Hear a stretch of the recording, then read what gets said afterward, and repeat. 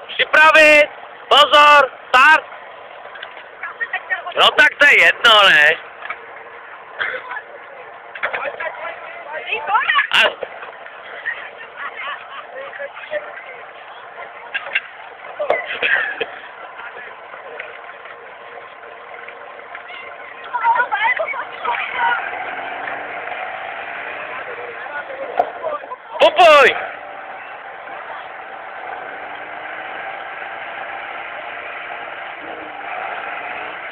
Popuj!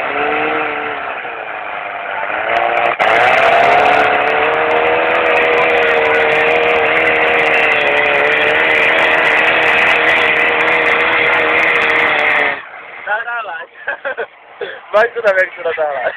Já myslím, že jo, tak nějaký.